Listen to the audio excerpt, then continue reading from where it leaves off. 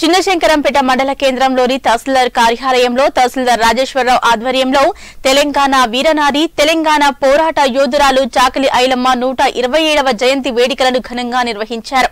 ఆమె చిత్రపటానికి పూలమాలలు వేసి నివాళులు అర్పించారు. అనంతరం తహసీల్దార్ రాజేశ్వరరావు మాట్లాడుతూ తెలంగాణ పోరాట యాదురాలు చాకలి ఐలమ్మ చూపిన బాటలో నడుస్తూ ఆమె ఆశయ సాధన కోసం ప్రతి ఒక్కరూ కృషి చేయాలని తెలిపారు. ఈ కార్యక్రమంలో రెవెన్యూ ఇన్స్పెక్టర్ శ్రీహరితో పాటు కార్యాలయ సిబ్బంది పాల్గొన్నారు. పాల్గొన్నారు గారు మన ఉమ్మడి వరంగల్ జిల్లాలో పద్దెనిమిది వందల తొంభై ఐదవ సంవత్సరం జన్మించడం జరిగింది. ఆమె పంతొమ్మిది వందల ఎనభై ఐదవ సంవత్సరం అంటే దాదాపు తొంభై ఐదు సంవత్సరాలు జీవించి మరణించడం జరిగింది. ఆమెను ఇన్నాళ్ళకు మన తెలంగాణ రాష్ట్ర ప్రభుత్వం వచ్చిన తర్వాత ఆమె జ్ఞాపకం చేసుకోవడం జరిగింది.